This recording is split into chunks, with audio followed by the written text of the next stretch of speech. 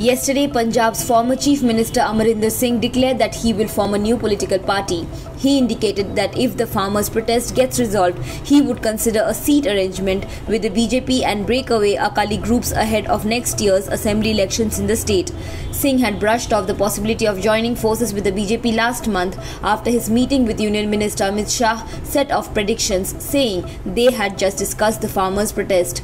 In a series of tweets last evening, the former Chief Minister's media advisor Raveen Thukral quoted him as saying, Will soon announce the launch of my own political party to serve the interests of Punjab and its people, including our farmers who have been fighting for their survival for over a year. Another tweet read, hopeful of a seat arrangement with BJP in 2022 Punjab Assembly polls if farmer protests is resolved in farmers' interest. Also looking at alliance with like-minded parties such as breakaway Akali groups, particularly Dhindsa and Brahmpura factions.